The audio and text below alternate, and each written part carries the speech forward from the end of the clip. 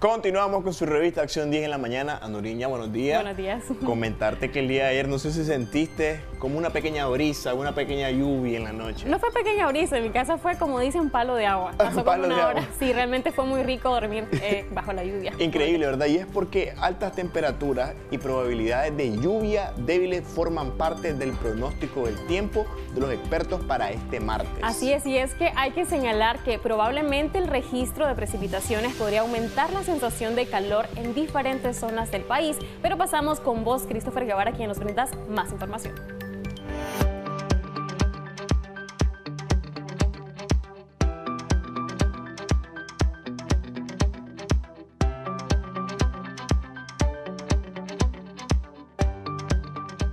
Muy buenos días, y acá el pronóstico del tiempo. Vamos de inmediato a actualizar el panorama climático en las próximas 24 horas. Oye, hay una vaguada detectada entre el suroeste de México y parte del norte de Centroamérica y hablamos que también el noroeste de Nicaragua. Esta vaguada de pronto nos dará algunas nubosidades y es que no descartamos lluvias débiles sobre todo en el occidente del país, parte norte y sector costero de la costa caribe de nuestro país. Tenemos que esto está debido también predispuesto por sistemas de bajas presiones y está dándonos precipitaciones en las próximas horas. Esto según expertos es típico ya finalizando el mes de abril y adentrándose el mes de mayo para instalarse o acentuarse por completo el periodo lluvioso para este 2024. Y es que hablamos que Río Blanco, Bocana de Paiguas, Muy Muy, Mulucucú, Guaslala, Jiquilillo, también en Chinandega, el Jicaral, el León, preste mucha atención y San Rafael del Sur serán algunos de los lugares donde probablemente se presenten estas precipitaciones en forma de chubascos. Hablamos que serán un tanto intensas pero de corta duración. Nos vamos del otro lado y es que a pesar de lo antes mencionado, hay que señalar que tenemos las altas presiones atmosféricas que son más bien predispuestas por el peso del aire y dándonos esos bochornos de los cuales hemos sido testigos. Les comento que para el Pacífico entre los 31 y los 38 grados Celsius, una región central entre los 29 y los 37, vemos que la región del Caribe entre los 30 y los 32 grados Celsius. Continuarán los calores sofocando a los nicaragüenses, es lo que nos dice la madre naturaleza, así que hay que hidratarse, por supuesto.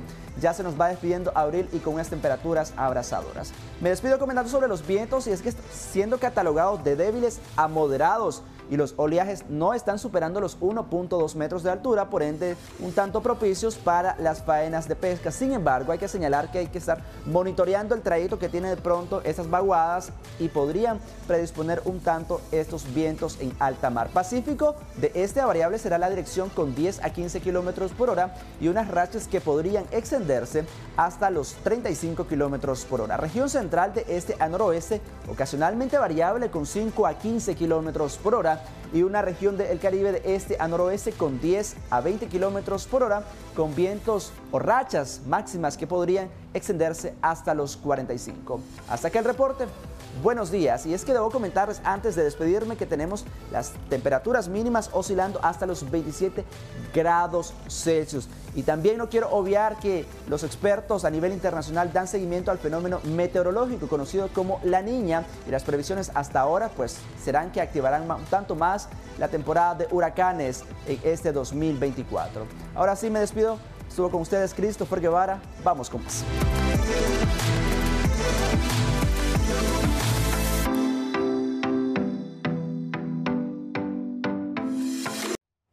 Bueno, gracias por continuar con nosotros y ahora, Odili, vamos a hablar en Mundo Animal de algo que definitivamente está sorprendiendo.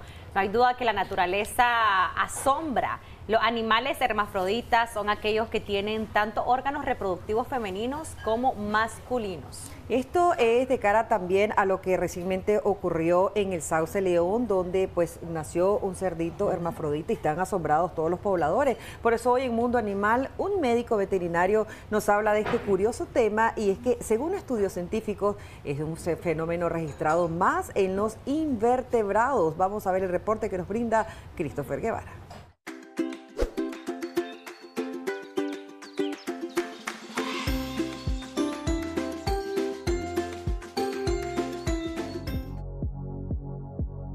El hermafroditismo es un proceso que puede ocurrir en los animales, aunque son raros los casos, sí es posible que algunas especies se reproduzcan en ambos sexos.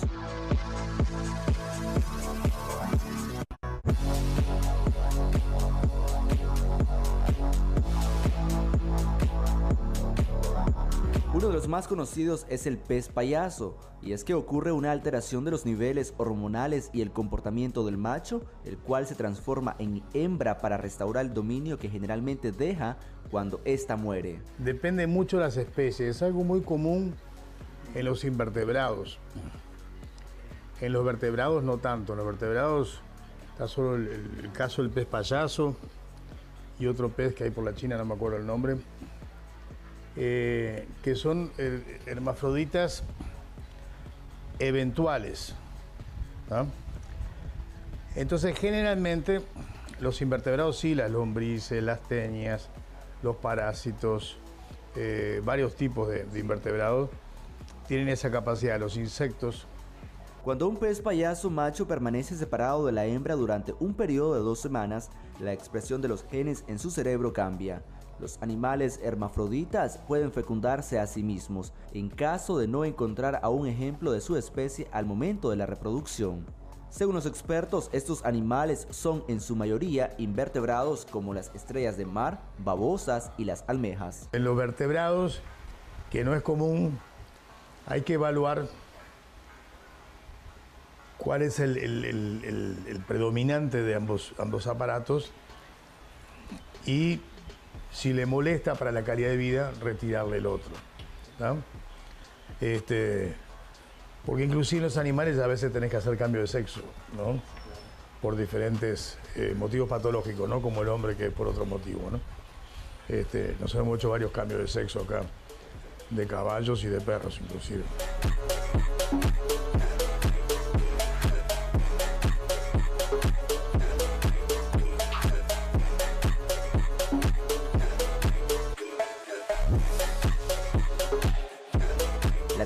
Ha preparado a estas especies a adoptar este comportamiento sexual, principalmente a aquellos considerados solitarios. Christopher Guevara, Acción 10.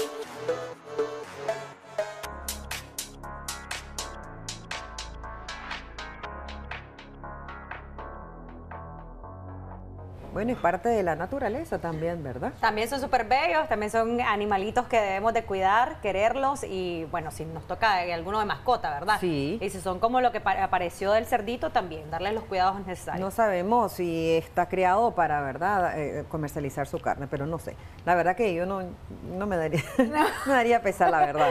Ah, Bueno. me- lo, lo tendría como mascota yo. Como mascotita, sí.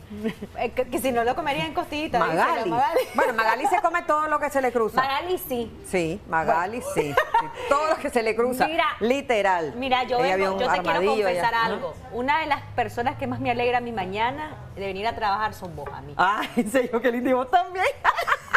Entonces, esto es lo bonito, tener en el trabajo personas que te motiven, tener también un ambiente laboral que te despierte. Aunque se esas mi comida. Aunque se te coman la comida. Esas ganas de decir, quiero ven- ir a trabajar, no cuando apagamos la alarma y decimos, otra vez lunes, otra vez ir a trabajar. Y de eso es lo que va a hablar ahorita Anduriña, de la Sí. motivación laboral. Exactamente, hasta nuestra especialista con ella y esos tips que también nos pueden ayudar tanto a los gerentes, a los líderes, como nosotros los trabajadores, porque ambos tenemos responsabilidades y ambos también tenemos el derecho a trabajar con esa Y tranquilidad. de, dejar con de esa compararse felicidad. también de que por qué a ella le están dando esto y a mí no, Eso porque ella tiene mejor beneficio que yo. Mejor No. cada uno. Si usted siente que necesita una mejora también individual, ven acercarse y decir yo necesito, yo deseo eso, sin comparaciones. Cada uno hace su propio estrato. Vamos de inmediato. Adelante, Norilla.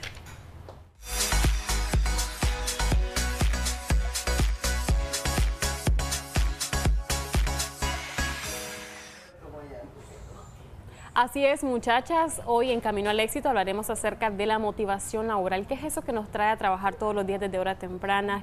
¿Qué es eso que tenemos ahí que nos dice, ok, sabes que tenés que levantarte y tenés que ir a trabajar? Pero ¿qué pasa si no tenemos esa motivación? Ya hoy vamos a saber cómo poder implementarlo, por supuesto, con la doctora Alba Ronnie, que nos acompaña acá en estudio. Y recordarle que si usted quiere participar acerca de este tema, perfectamente puede hacerlo a través de nuestras redes sociales. Aparecemos como Canal 10 Nicaragua y también como Noticiero Acción 10. Bienvenida, doctora, y gracias por estar con nosotros. Muchísimas gracias, Duriña. Un tema muy interesante y muy importante, ¿verdad?, para todos los que tenemos vida laboral activa.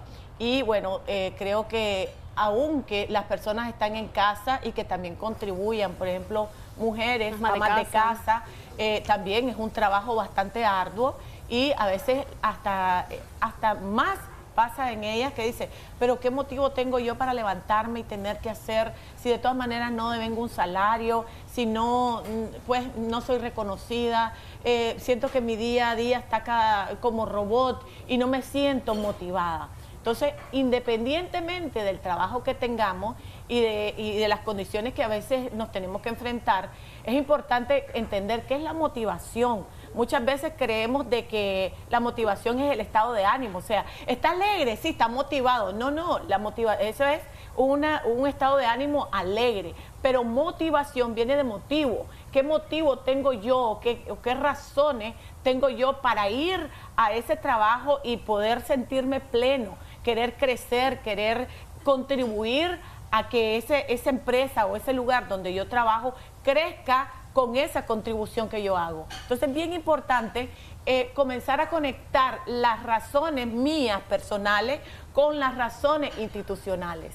Entonces, si yo digo, ok, mis razones eh, personales es crecer, es tener un buen salario, es reconocimiento, es tener un ambiente bonito, es tener salud emocional, es equilibrio entre, la, entre, el, entre mi vida personal y mi vida laboral, es sentirme útil, es sentirme si esos son mis motivos personales, cómo la empresa, la institución me está abonando y está respondiendo a esa necesidad que yo tengo. O sea, esto es un intercambio de beneficios de entre un trabajador y una empresa y eso es bien importante dejarlo claro. Porque a veces hay empresas que dicen, ay, pero es que la gente no se motiva. Es que yo no los veo que tengan esa motivación por el trabajo. Es que por el trabajo en sí no es bien difícil. ¿Quién se quiere levantar o quién se levantaría sin salario?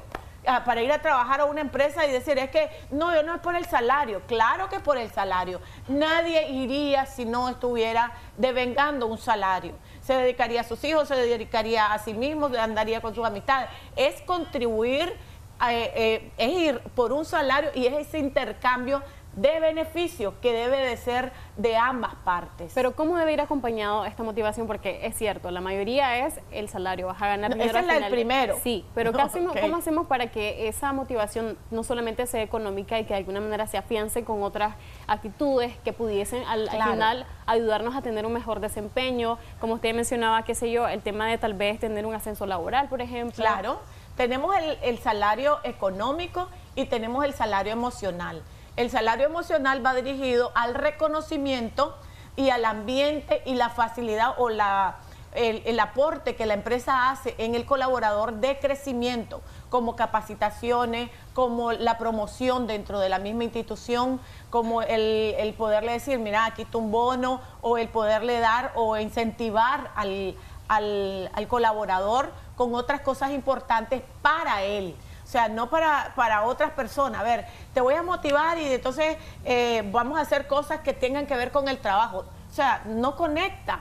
Mi motivo en la vida, o lo que a mí, la razón por la que yo voy a trabajar, es porque quiero crecer, porque quiero ser profesional. Entonces, ¿cuáles podrían ser los elementos? Capacitación, quiero ver a mi hijo eh, crecer o quiero ver a mi hijo desarrollarse. ¿Cuál podría ser otra motivación? El poderme permitir tener tiempos con él, el poder crear ambientes que, me conecte con lo que es importante para mí, el poder, el, que me den alguna situación o alguna oportunidad para mi hijo, el hecho de que, por ejemplo, en, el trabajo donde yo estoy, eh, trabaja mi hijo ahí. O sea, ese es un plus que no todas las empresas se abren porque no están viendo más allá de, lo que es importante para el colaborador. Entonces, todo lo que tenga que ver con los beneficios, y beneficios no estamos hablando solo de economía, estamos hablando de, también de los ambientes bonitos que a veces nosotros creamos.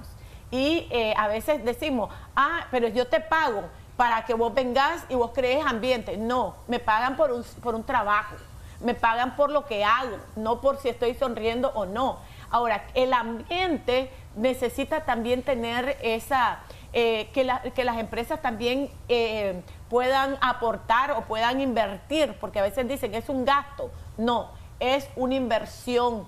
El cuidar emocionalmente de sus colaboradores. Un colaborador feliz es un colaborador eh, mucho más efectivo, un colaborador que, que tiene menos errores, que es más asertivo, que saca lo mejor de sí, que, se, que, se- que crece y creciendo él contribuye de mejor manera a la empresa, un colaborador feliz, eh, mantiene a un cliente contento, motivado también y el motivo es que aquí se le da lo que esa persona necesita. No, y de hecho también el tema de una persona feliz eh, tampoco crea como un ambiente tóxico, porque a veces Total. pasa de que hay personas que quizás quizás no son felices internamente y entonces tratan como de ver al otro como la competencia y entonces a veces se crean como esos ambientes en los que al final es difícil poder desempeñarse sanamente. Claro, y para eso es tan importante son las políticas en las empresas. ¿Cuáles son las políticas escritas donde todos los colaboradores deberían de conocerlas? Si nosotros tenemos políticas claras, entonces, por ejemplo, si yo digo, las personas que tengan una, una maestría van a tener cierto ascenso o van a tener cierto beneficio. Eh, va a depender de la persona que quiere estudiar la maestría o no. Entonces, pero cuando no están claras esa- esas, esas políticas, se siente como esa, e- ese sentido de injusticia, ah, ¿por qué se lo dan a aquel y a mí no? O a veces muchas, eh, muchas personas dentro de las, del, del núcleo de, la- de las empresas, en el seno de las empresas muchas veces hacen cierto preferitismo de una manera fuerte o a veces maltratan al colaborador pegándole gritos, diciendo cosas denigrantes, llamándole la atención delante de la gente y todo eso va minando el autoestima del colaborador. Alguien con un problema de autoestima, por mucho que gane muy bien, va a ser un colaborador que va a estar porque tiene que estar, porque me pagan bien y entonces tengo y no quiero. Y es lindo crear ambientes donde el colaborador dice, quiero ir a trabajar, qué alegre, hoy voy a hacer esto, esto, esto, ay, y voy a hacer esto. o sea, el poder sentir ese, ese espacio tan bonito. Pasamos tantas horas en el Así trabajo. O sea, pasamos de las eh, 16 horas que pasamos despiertos, 8 trabajamos. O sea, imaginémonos cómo estamos, cuánto tiempo. Y las otras, eh, ahí tenemos diferentes actividades y sobre todo eh, en, dentro de las otras 8 horas es dormir, 8 horas laborales. Y las otras 8 horas es transporte, comida, bañarnos, alistarnos, un poquito para la familia. O sea, de esa se divide un montón. Entonces el área donde más nos desarrollamos y más estamos, eh, cuando estamos despiertos, eh, vivimos, es en el ambiente laboral. Si nosotros creamos un ambiente bonito, vamos a tener mucha- muchos beneficios emocionales. Porque una persona que se siente valorada, que se siente cuidada, que se siente con buenas relaciones interpersonales, que se siente con una carga eh, laboral equitativa, con, con un balance entre su vida laboral y su vida profesional y su vida personal. O sea, mientras una persona tenga ese balance y ese bienestar, va a ser mucho más productivo, va a ser mucho más, eh, va a poder impactar más en el crecimiento de lo que es la empresa y en lo que es todos los proyectos que vienen. O sea, una persona feliz es más creativa, es más rentadora, re- eh, abona de manera constructiva, da mejores ideas, eh, da un plus a las empresas y crea ambientes bonitos que también impactan en el bienestar de todos los colaboradores que están con ellos. Vale la pena por eso que quizás las empresas creen espacios recreativos en los que no solamente socialices para trabajar, sino que también trates de socializar Total. de manera personal. Total y absolutamente. Es importante que las, las empresas comiencen a invertir en una, en una cultura eh, constructivista que construya lazos afectivos entre el colaborador y la institución. Si la institución se preocupa genuinamente por el, por el bienestar del colaborador, esto también va a tener un retorno positivo para la empresa. Entonces, si una persona no se siente valorada, no se siente eh, querida, no se siente incluida, no se siente que realmente se le reconoce el trabajo, tanto en la parte económica como emocional, va a ser una persona que puede hacer muchísimo daño dentro de la empresa. Sus últimas recomendaciones, doctora. Es bien importante, yo creo que eh, necesitamos primero comenzar con nuestra motivación inter- interna, pudiendo hacer algún diagnóstico en las empresas para saber cuáles son las motivaciones del- de, los colaboradores y cuáles son las motivaciones de la empresa y aprender a conectar. El invertir en el bienestar de los colaboradores no es un gasto, es una inversión con un retorno y una rentabilidad muy alta. Así es que es hora de invertir en, cada uno de los colaboradores para crecer. Muchísimas gracias, doctora, por esa información tan importante que esperamos que podamos tomar eh, de manera individual y de manera colectiva en práctica para que tengamos mejores resultados, para que esa motivación se fortalezca. Casi hacemos un corte comercial, ya regresamos con más de Acción 10 en la mañana.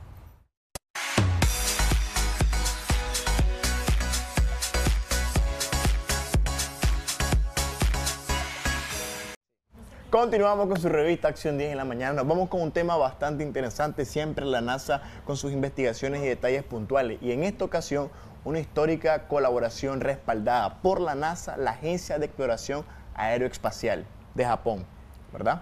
Y por supuesto Toyota, una de las marcas más reconocidas de Japón en vehículos, han unido fuerzas para desarrollar el Lunar Cruiser. Se dice la Land Cruiser, no, pero este es Lunar Cruiser un vehículo espacial destinado a las próximas misiones de exploración lunar. ¿Cómo es y cuándo empezará a trabajar en ciencia y actualidad? Te lo comentamos. Adelante.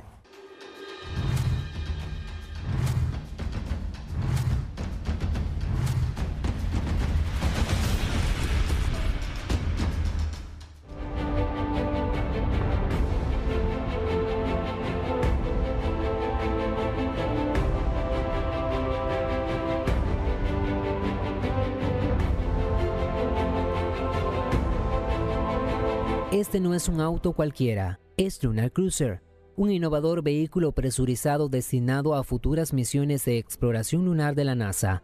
La creación de ese aparato fue a través de la colaboración histórica entre la Agencia de Exploración Aeroespacial de Japón y la empresa japonesa de fabricación de automóviles Toyota. Esta alianza, respaldada por la Organización Espacial Estadounidense, promete revolucionar la manera en que los astronautas interactúan con la superficie lunar.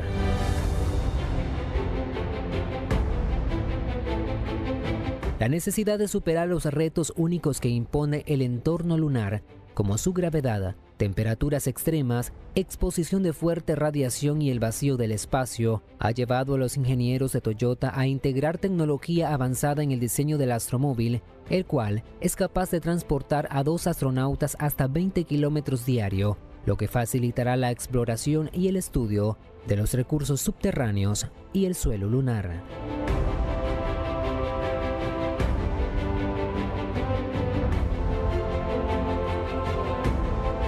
La tecnología de baterías basadas en hidrógeno generado por energía solar, junto con neumáticos diseñados para navegar eficazmente por la superficie arenosa de la Luna, son solo algunas de las innovaciones destacadas. Con el Lunar Cruiser, Japón se sitúa al frente de la innovación, desarrollando un interior espacioso de 6 por 5 por 4 metros y un sistema que permite convertir el agua residual en combustible de hidrógeno, vital para largas expediciones.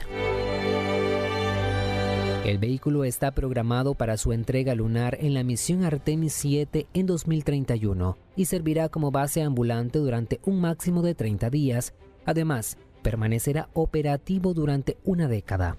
La colaboración entre JAXA, Toyota y la NASA no solo simboliza un avance en la tecnología espacial, sino que también marca un hito, permitiendo que astronautas japoneses se conviertan en los primeros no estadounidenses en explorar el satélite natural. Moisés García, Acción 10.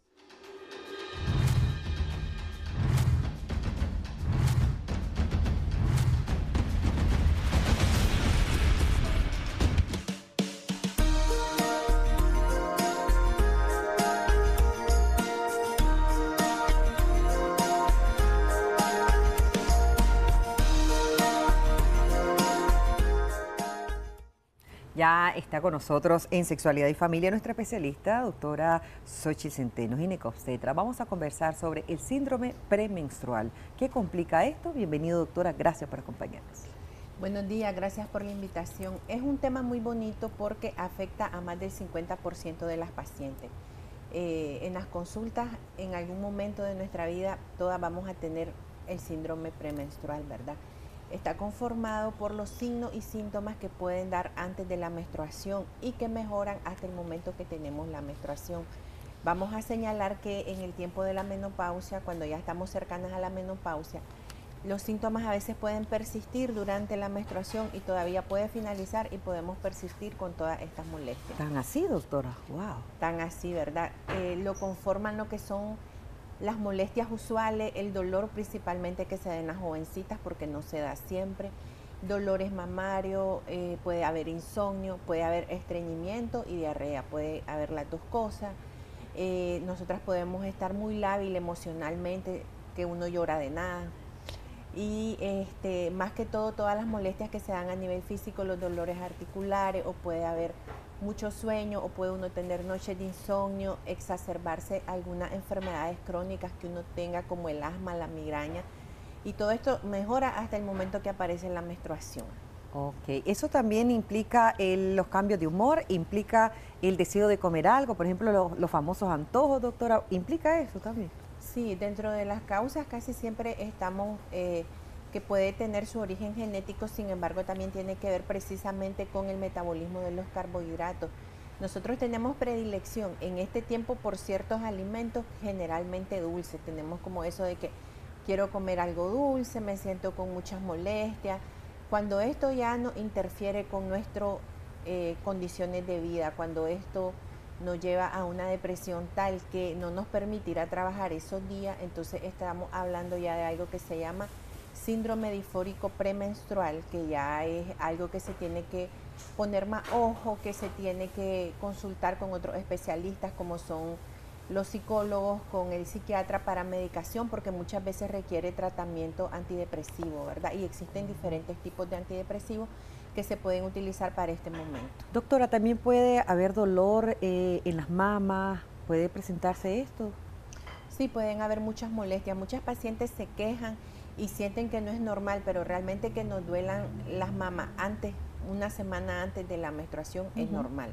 Se da por la congestión mamaria y mejor en el momento de la menstruación. Por eso no aconsejamos realizar ultrasonidos ni mamografía en ese tiempo. Tiene que ser siete días después de haber pasado la menstruación. es decir, que pueden aparecer estos eh, síndrome premenstrual unos cinco días antes de la menstruación. Ya podemos decir que eso podría suceder, porque como usted dice, no a todas. Podría suceder. Eh, hay pacientes que lo describen 15 días antes de la menstruación. Ah. Los libros dicen de 7 y 5 días antes. ¿verdad? Y mejora desde el momento que nos viene la regla o en los días subsiguientes. Y como lo mencioné al inicio, pacientes que están en la etapa de climaterio o edades avanzadas pueden tener su menstruación y continuar con todita esas molestias que nos puede dar antes de la menstruación. Y ahí también me surge una pregunta, doctora. Si bien es cierto, son, es la sintomatología que puede presentarse previo a nuestra eh, menstruación, también tenemos que poner mucha atención en alguna otra problemática que nosotros podamos presentar. Sí, por ejemplo, cuando el dolor se exacerba mucho y nosotros a veces le decimos a la paciente es normal, pero no, no se nos ocurre mandar un ultrasonido y no sabemos si la paciente tenga otro problema como es la endometriosis, la endometriosis pélvica, da dolores muy fuertes con la menstruación, entonces ya no son normales, ¿verdad? A veces uno les puede dar medicación y no mejoran. Lo ideal es que nosotros tomemos ciertas medidas, la mayoría, los tratamientos van dirigidos en cuanto a mejorar los síntomas. Eh, nosotros podemos llegar a unos pacientes a utilizar eh, hormonas, ¿verdad? Sí. Anticonceptivas para disminuir todo, todas estas molestias que pueden ser, que pueden interferir, pues porque les, impide a veces hasta ir a trabajar. Sin embargo, también se les dice, bueno, una semana antes o dos semanas antes que le venga la menstruación, disminuya el consumo de cafeína, disminuya el consumo de sal, de comidas muy grasosas, porque todo esto va a hacer que uno retenga menos líquido y haya menos molestia. Pues cuando nosotros estamos próximas a la menstruación, si nos pesamos, vamos a pesar de uno hasta tres libras más por retención de líquido. Sí. Entonces, si nosotros mejoramos eso, si nosotros hacemos ejercicio, podemos mejorar los síntomas intestinales, tomamos abundante agua, entonces vamos a minorar no es que vamos a quitar, ¿verdad? Porque es algo propio de uno, pero vamos a minorar todas estas molestias. Aquí me hacen preguntas a través de nuestras páginas en Facebook, Noticiero Acción 10 y Canal 10 Nicaragua. Eh, ¿Qué se puede tomar para el insomnio? ¿Puede dar el síndrome premenstrual insomnio también, doctor? Puede dar insomnio y puede dar hipersomnia. Hipersomnia que va de la mano con la depresión. Nosotros siempre escuchamos que la gente deprimida siempre tiene sueño. Sí. Es una como característica. No vamos a decir, a generalizar que siempre es así pero puede haber insomnio, entonces nosotros podemos Lo primero es tener higiene del sueño. ¿Qué significa higiene del sueño? No podemos tomar bebidas con cafeína después de las 4 de la tarde, no podemos comer después de las 7 de la noche, porque toda la digestión está, toda la sangre está para la digestión y no para dormir. Sí. No podemos eh, tener eh, pantallas reflejantes, luces, televisores encendidos mientras queremos dormir. Tenemos que tener un área oscura y tratar de mejorar en ese sentido. Si no podemos tomar inductores del sueño, que un médico lo puede recomendar, que son inductores. Eh, en el tiempo del COVID se usó mucho la melatonina, por ejemplo, que es un medicamento, ¿verdad? Sin decir marca, que ayuda y contribuye a mejorar la calidad del sueño. Sin embargo, nosotros no vamos a estar dependiendo de eso, ¿verdad? Tenemos que hacer todo lo que indica la higiene del sueño para mejorarlo y en todo momento, no solo en el momento de, que tengamos el síndrome premenstrual. Y siempre que sea prescrito por el especialista, porque aunque sea para eso, puede complicar otras, otras situaciones. Sí, tenemos las opciones naturales, también los té relajantes, ¿verdad? Que son de, de venta libre, que nosotros podemos adoptar el, el hecho de tomarlo y eso nos ayuda. Pues todo lo que nos haga sentir confort y mejoría, dormir con ropa cómoda, porque si usted duerme con ropa incómoda, eh, la temperatura, todo es importante, la luz para que nosotros podamos tener las 7 horas de sueño que debe tener el adulto, en los niños es más, ¿verdad? De 8 a 10 horas. Doctora, ¿cuándo se presenta más? ¿Cuando está iniciando la menstruación, cuando estamos adolescentes, cuando estamos en la etapa adulta o cuando ya vamos eh, buscando lo, lo que es la menopausia? ¿Cuándo se presenta con mayor intensidad? Puede comenzar desde la adolescencia, desde que tenemos las primeras menstruaciones. Recordemos que no van a ser regulares porque el eje madura, ¿verdad? El eje para la menstruación, el eje que tiene que ver con la hipófisis y los ovarios, madura después de haber iniciado, de uno a dos años de haber iniciado la menarquía, que es la primera menstruación. Entonces, desde ese momento nosotros podemos comenzar a tener síntomas. Ya podemos ver cambios en la niña, que la niña está más molesta, que anda con más dolores, que dice que se siente mal, que no, a veces puede ser que tenga más hambre, pero a veces también puede tener episodios de anorexia donde no quiera comer y es por todas estas molestias y se puede agudizar eh, cuando ya uno es adulto, ¿verdad? Y está en etapa de reproductiva. ¿Puede suceder que al inicio o antes de, un embarazo no se padecía de ese síndrome premenstrual, pero luego del embarazo y de ese parto, ¿podemos padecer de esto también? ¿Puede suceder? Puede suceder, sin embargo, por ejemplo, en el caso de que nos dé dolor cuando uno tiene un bebé, ya sea parto natural, cesárea o que uno lo pierde y haya estado embarazada, pues generalmente los dolores con la menstruación mejoran, ¿verdad? En ese momento uno puede tener disminución de estos problemas y de estas molestias. Mientras nosotros planifiquemos con métodos hormonales, no vamos a tener síndrome premenstrual porque no vamos a tener el ciclo natural que nosotros tendríamos sin utilizar métodos. Correcto. Vamos a leer algunos. El síndrome, el síndrome premenstrual da náusea, antojo, dolor de cabeza, es terrible. Tengo dos años que no me viene la menstruación, pero planifico con la inyección de tres meses. ¿A qué edad es normal la primera menstruación? Muy buenos días, doctora. Cuando me baja mi periodo, me dan dolores muy fuertes que me dejan hasta no poder caminar. Me eh, bebo pastillas para el dolor y a veces se me quita.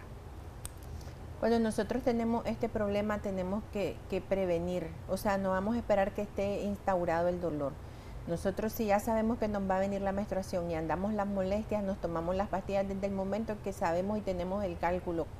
Hablando de una paciente que conoce bien su ciclo, si sabemos que hoy va a venir la regla, no esperemos que nos dé el dolor. Nos tomamos ya nuestro primer analgésico antiinflamatorio, ¿verdad? Que nosotros hayamos consultado previamente porque no todas toleramos lo mismo.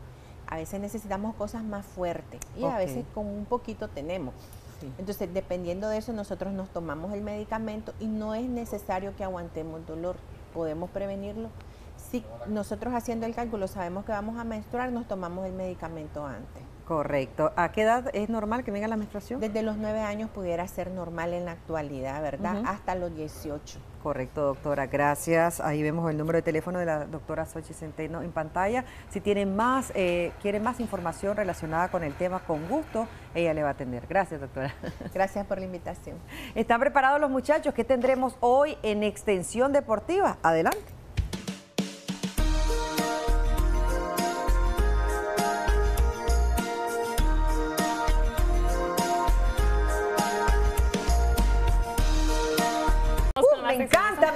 Argentina. Imagínate cuánto recorrido. Gracias, Moisecito. Es de Silvia Pinal, la doña Silvia Pinal de Casos de la Vida Real. Mujer, casos, imagínense. cierto, Desde ella. 1985 y, por supuesto, excelente. Hermana de Luego, Alejandra Guzmán. Esa, es la mamá. Es, ¿Es la, mamá. mamá? Exactamente.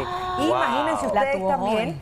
Eh, luego la Talía, ¿será que se estaba peleando? No, mira, así inician los chismes. Ajá, o sea, no se escucha el audio. Y vos sabés que a veces uno habla así tan expresivo. Estaban hablando de un par de zapatos. Puede ser nosotras, Sí, se y van a ver si se están peleando, no se llevan bien. Pero ya nos vamos, Sí, dice que no pero- comentemos mucho. Sí, tenemos que irnos rápidamente. Mañana es- quédese pendiente de la revista porque tenemos temas muy importantes como la quiropraxia, que es una Ay. técnica para corregir la columna, para aliviar el dolor. Yo y quisiera también, que me lo hicieran. ¿qué ¿Puedo ponerte a modelo yo? Sí, pur. Bueno, a personas que les encanta el colágeno, mañana el chef va a traer colágeno, pero ¿Por qué el... miraste de lejos cuando dijiste colágeno? Va a ser patitas, Ah. sopa de patitas de pollo. Ah, no, no sé qué. No, tenés cuidado.